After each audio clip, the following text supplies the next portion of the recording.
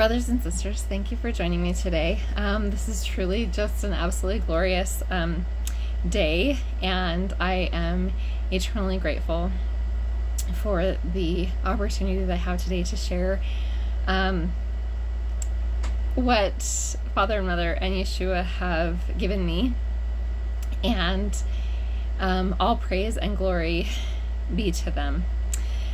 So, um, today, if you were looking at the creation calendar that Father gave me, um, I guess it's been t- over two years ago, um, we are at 1111. And that's really interesting that of all days, this is the day that this has kind of come into fulfillment, um, into completion.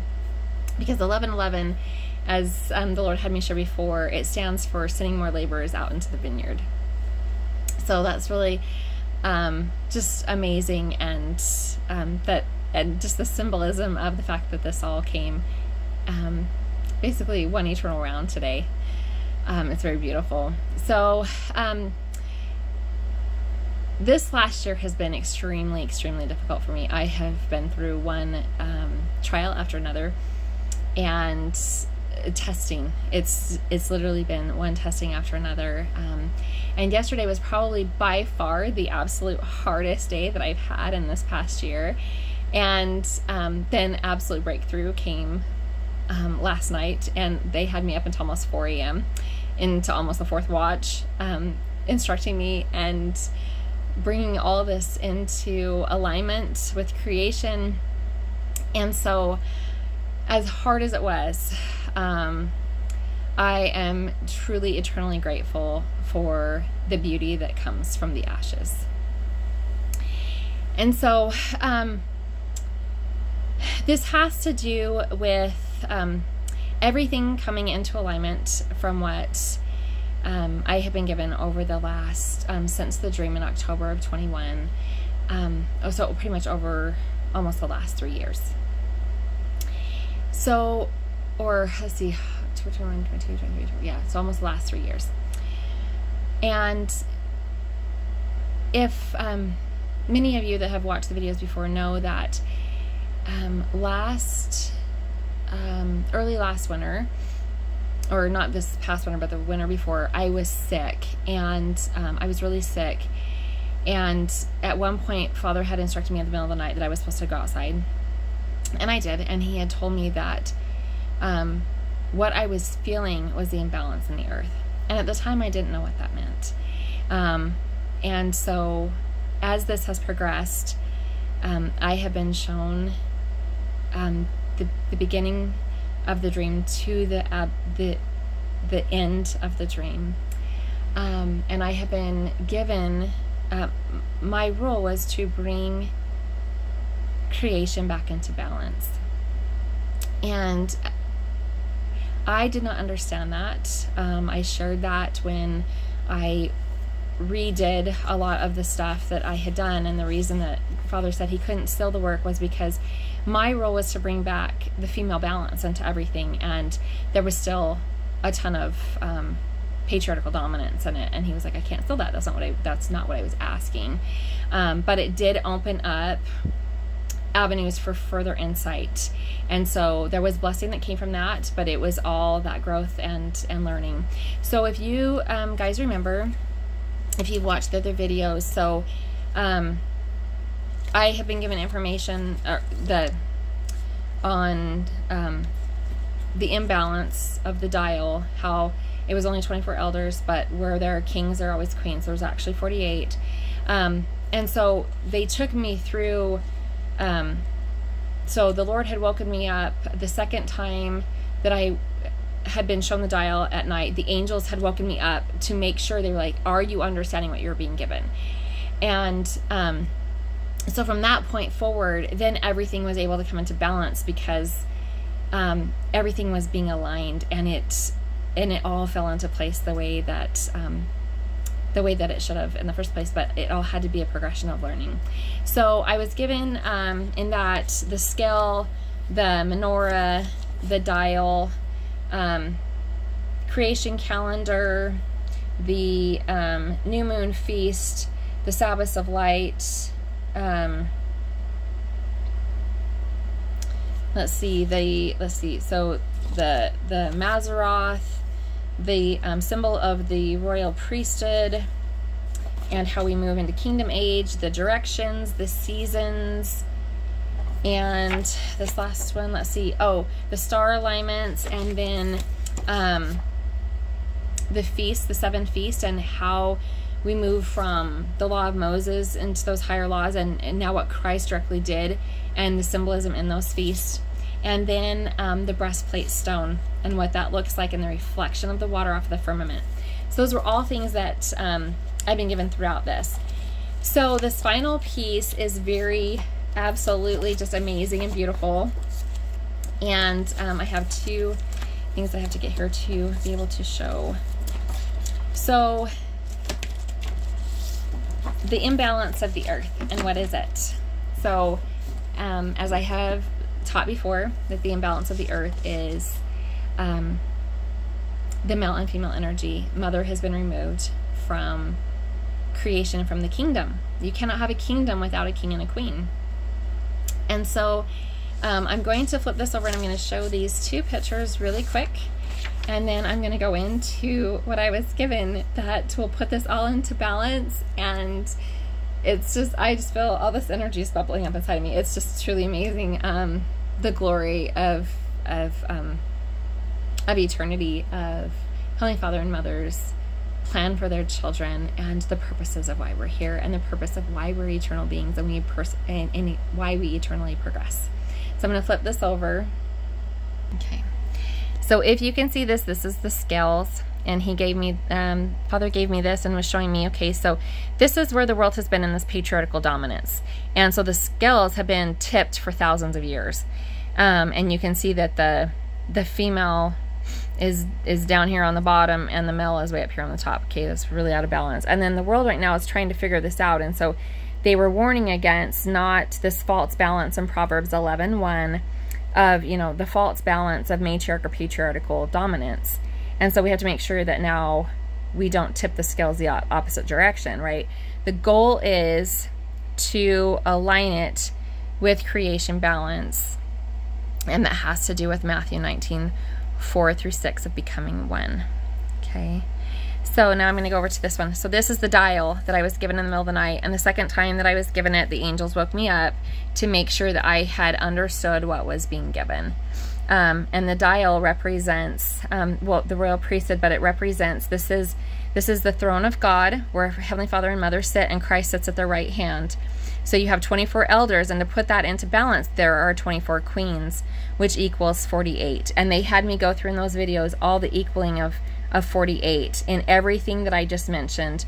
Um, it all comes out to that perfect um, 48. Even, um, let's see, well, in, in all of it. So if, if you want to know those things, you can go back to um, the videos on the calendar and, and, um, the menorah and those things. So now I'm going to flip this back over. Okay, so then last night, like I said, I had the hardest day I've ever had in my life. I want to say that. It was it was pretty darn brutal, but I've been so grateful for the breakthrough. So what is the dial? Okay, um, the dial is also the throne room what comes from the throne room of god? Healing. Healing comes from the throne room of god. And from father and mother yeshua and the holy spirit reside within that that throne room. And that is where healing truly comes from and so not only is it a dial that we should be tuned fully in to heaven but it is also a healing wheel okay so um right now um, the world, like I said, has been in this patriarchal dominance for thousands of years, and God is like, no more, no more. That's not how they designed the kingdom. That's not how the kingdom should be ran. And so, um, no more of this patriarchal dominance. So that's what we're coming out of right now. So the scale balance has to return. And how does that happen? Um, so I'm going to show you um, this healing wheel and what they showed me. Um, and also, I have in my notes here what did Christ teach? Christ taught kingdom. So, what is a kingdom? Ask yourself, what is a kingdom? What does a kingdom look like? Okay, in a kingdom, there's a father and a mother. There's always a kingdom of a father and a mother. So, I'm going to turn this around and um, just show you this, and then I will talk about it. Okay, so this is the healing wheel that um, they've been working on me with this for probably the last two months, and now it all came into fulfillment. So this is where we've been in this patriarchal energy that has been out of balance for thousands of years.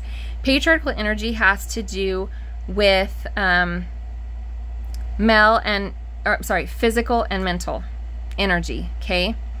Where women have to do with spiritual and emotional. Okay, and this is matriarchal energy. So we know that Satan desires to stay in this because it is his goal to silence the woman, which is in Revelations 12. So the enemy wants to silence the woman. By so doing, he will keep the world out of balance. Okay, so we have, here's the, the table that sits around the throne room with the 24 elders and the 24 queens. And we have Heavenly Father and Mother, Yeshua, and the Holy Spirit reside in this throne room. Um, so, what is Christ's role in our lives? His role is to pull us in to where he is. Okay? This is a magnetic pull. Um, so we're pulling the the physical and the mental, the male energy, into the spiritual and emotional energy, which is female energy. So we're taking the spiritual, the women have been in the spiritual and emotional um, energy. And men, that is the number one thing that um, has been shut off by this world is emotional energy in men.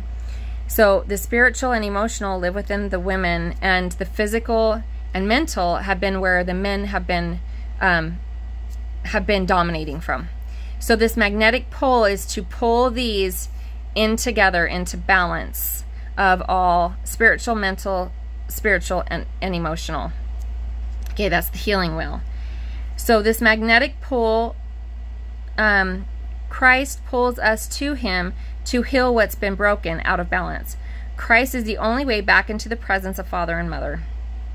Okay, so um, this is what it looks like right now. So as we step into kingdom age, and this healing wheel will also rotate with everything else that he gave me, the directions, the season, um, all of it. It will literally flow in the same direction of turning on its axis. So when it turns on its axis, we will go from spiritual was here. Now we're going to go into, um, everything's going to rotate one to the right. And now spiritual, we will reside the kingdom age.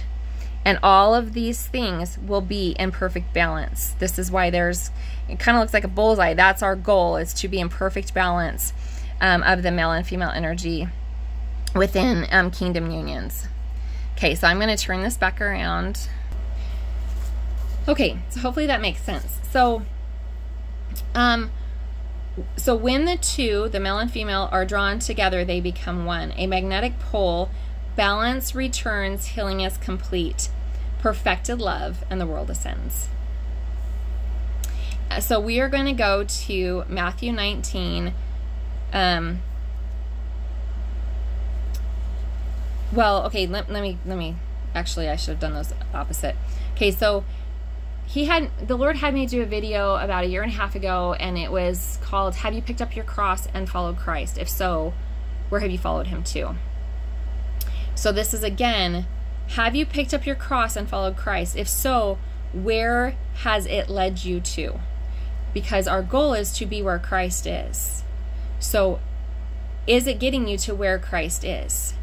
That's a question that only you can answer for yourself. Okay, so we are going to go into Matthew 19, 4 through 6. And it says, And he answered and said unto them, Have you not read that he which was made he which made them at the beginning made them male and female? And said, For this cause shall a man leave father and mother and cleave unto his wife, and they which are two shall become one flesh. There, wherefore they shall no more twine, but one flesh. Let not man therefore put asunder that which God hath um, coupled together. From the beginning, Christ himself is testifying from the beginning father and mother. You are to leave father and mother. He is talking about in the throne, father and mother. From the beginning, there was a father and a mother. In a kingdom, there is a father and a mother. So Christ himself testifies that there is a mother um, who became one with Heavenly Father. They are one, they are joined together as one, and that is so from the beginning. Um, okay, so. So now I'm going to go into the dream because this is phenomenal and amazing and um, absolutely beautiful. So when the Lord had taken me through the day of the events, at the at the evening, it was Christ that presented me to Heavenly Father. It was Christ that presented me to God. And it was only at that moment that I was handed over to God that God was able to open up the firmament. Okay, and what was displayed as he opened the firmament was the worlds without numbers. Okay, they are kingdoms. These this is the inheritance, the portion of the inheritance that is given to his sons. So the inheritance of his sons um, is a portion of his kingdom. And so if you look at the, the power and authority that God has, and when you talk about the priesthood in scripture, it is passed from father to son. Why is that? Because every kingdom was passed from the very first kingdom where God passed it to his very first son. So it's passed father to son, father to son, father to son every 7,000 years in the line of succession. And that is where the power of the priesthood comes from for men. It is from father, from each father, but it came originally from God from the very first world, okay, which was displayed that night. Okay, so with every kingdom, there is a father uh, or there there is a father and a mother, a king and a queen. Okay, so mothers come here with a priesthood already from mother. Period. It's not passed down from like in the in the kingdom of father, son, father, son, father, son. Mothers automatically come into the world with power of the priesthood from heavenly mother. Um.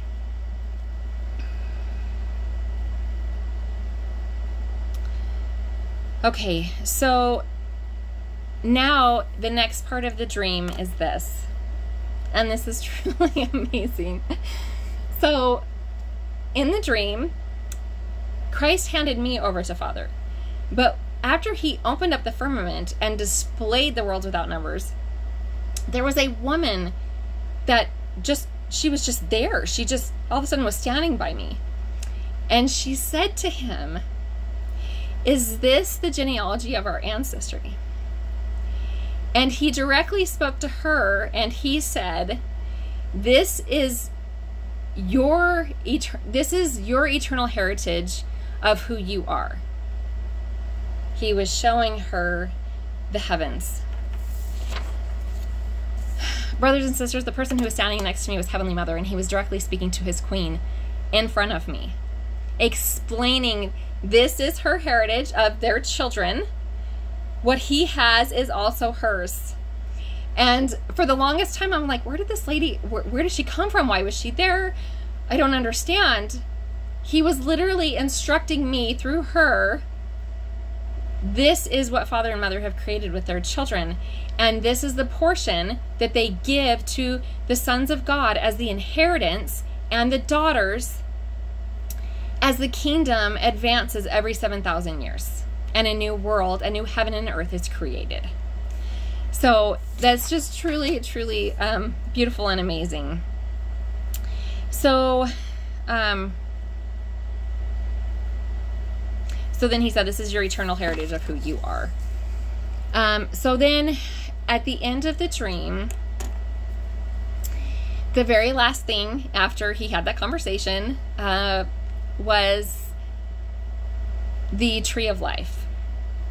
So we know that in the Garden of Eden there were two trees. And one tree was the tree of good and evil. And if you chose to partake of it, um, then you you are no longer under the protection of God, like or not under the protection, but you have chosen to um, step forward and and and learn and progress and grow and understand the good over the evil. But the only one that can take you through that process is literally Jesus Christ. He has to walk you through that process.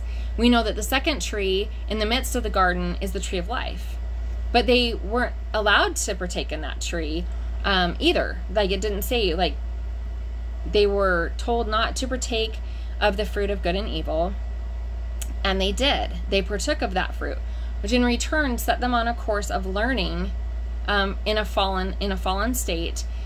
Um, so I'm being impressed that I'm supposed to share the, the book of father and mother knew that we could that absolutely believed in us to know that we could come here and accomplish this. We did not come here to prove ourselves to them. We came to prove to ourselves we could do it. They already know we can do it. That's why we're here. Okay. So, um, so when we partake of the tree of good and evil, Christ begin he becomes our master teacher. And he walks us through how to overcome this world and how to become a doer of the word and and um, takes us through really the difference of what the world has taught us good and evil is and what good and evil actually is through from the kingdom eternal perspective of things. So um, when when christ takes us through that process um, the ultimate goal is to get to the tree of life where we become doers of the word which that's in james we're supposed to become doers of the word and at that point it's the tree of life we serve a living god and a living christ his words are to become living within us.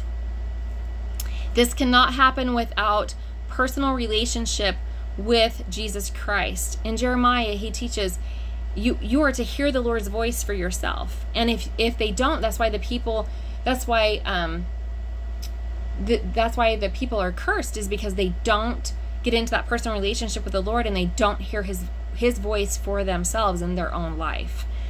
Um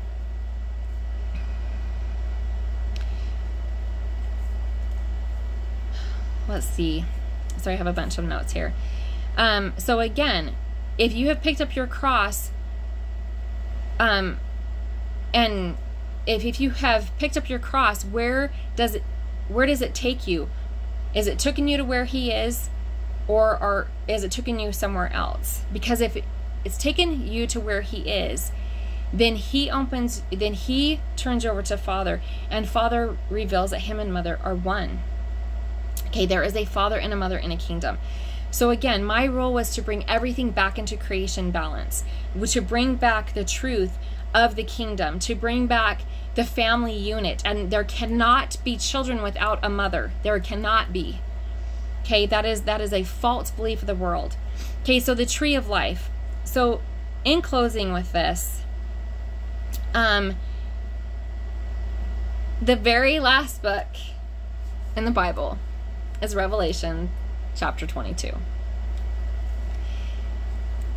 So, verse 14 says, Blessed are they that do his commandments, that they may have right to the tree of life and may inherit sorry sorry and may enter through the gate into the city that's where the dial is guys that's the throne room of god verse 17 the Spirit and the bride say, Come.